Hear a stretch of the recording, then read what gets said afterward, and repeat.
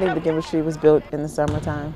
I think that collectively we all have the same ideals, and teams always talk about, head coaches always speak about buying in and contributing to the team input and mindset, but I think collectively we bought into each other, which is basically where our chemistry stems from. The summertime we've seen each other working hard, diving on the floor, taking charges, rebounding, pushing the ball in transition. So collectively seeing each other get better, we've bought into the chemistry output.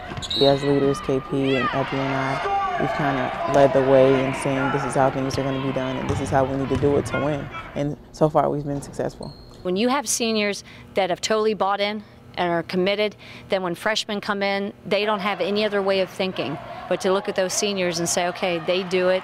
They are the ones that have been here the longest. I want to do it like they do it. We each have our own uh, senior quality to us as well as um, the junior class. They're all pretty uh, in level of play and experience. They're very much experienced, and so I think we all bring that um, those qualities to each other, and we're able to feed off each other in that way. So it's been really good. Battling each other, but pushing each other to get better has really helped us, and I think that's going to carry over onto the court. It's great. I can coach.